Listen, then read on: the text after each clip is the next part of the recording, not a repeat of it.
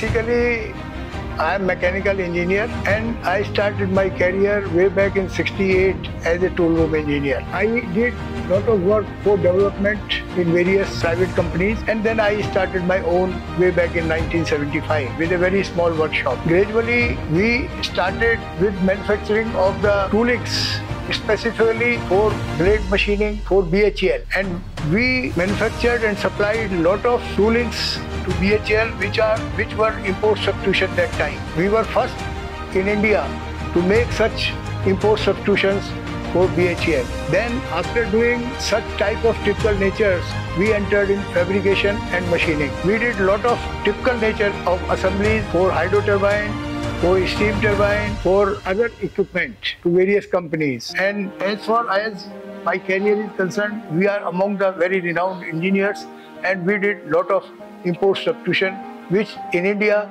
nobody could do. And after doing this business, we entered in forging around 15 years back. We manufactured the equipment like forging press which are hydraulically operated and internationally standard quality of equipment we manufactured in-house and we use them to produce quality forgings in our own works and we have installed some machinery conventional as well the CNC for machining of those components. Now we are equipped to provide the complete solution to our customer and we are even exporting the components to various countries. We are very heavy forger in India and we can do any challenging job and we feel very pleasure doing challenging jobs.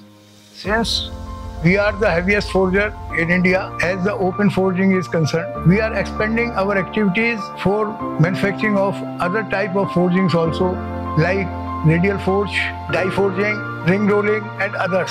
And we want to become number one in India as the forging is concerned. We are equipped with a lot of good equipments, heavy equipments and on which we do a lot of uh, R&Ds and by uh, th- those R&Ds we produce a lot of good products. We are uh, having all the facility in-house. So by having all the facility in-house, we can do faster and uh, good quality products. In next five years, our aim is to attempt all the type of heavy steel forging. Like we are putting radial forge in which we will do around 150 ton production per day. That will be the first uh, Indian hydraulic radial forge. And plus we are putting ring rolling and other things. We do heavy rings. We make a lot of gear blanks and uh, plus we are specialized in runner forging which used in hydro turbine and we give ready to use runner runners by using our 5 axis CNC machines. So we try to give the solution to our customer.